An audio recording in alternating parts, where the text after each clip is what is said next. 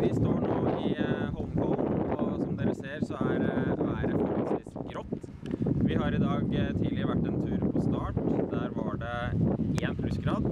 Og vi har vært en tur innover i marka hvor det ligger på rundt null grader. Og det er nedbør i form av sludd og snø. Litt regn i de laveste partiene. Sånn som været er spådd i morgen, så vil det bli litt kaldere. Det vil være nedbør de nærmeste 18 timene.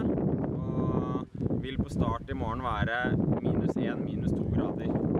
Så ut fra det så har vi følgende spørretips. På gli så har vi eh, en enkel variant i eh, LF8, alternativt HF8. Konkurransealternativet på gli er eh, HF8 eller hvit maraton med eh, FC8X Serapulver på topp.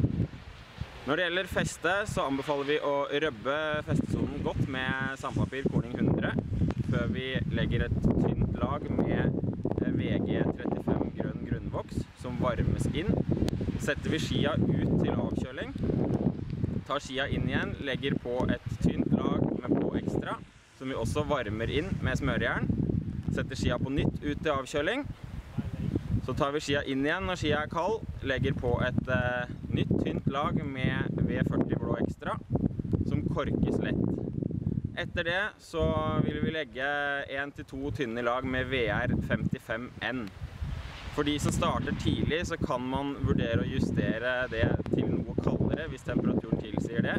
For eh, senere startene så kan man justere det til for eksempel VR62 eller VR65. Man er nødt for å se an når man kommer på start. Og vi vil være ute og teste fra tidlig på morgenen og vil ha oppdaterte smøretips når, eh, når dere kommer til start i morgen tidlig. Så kom bortom oss og få et, eh, et tips.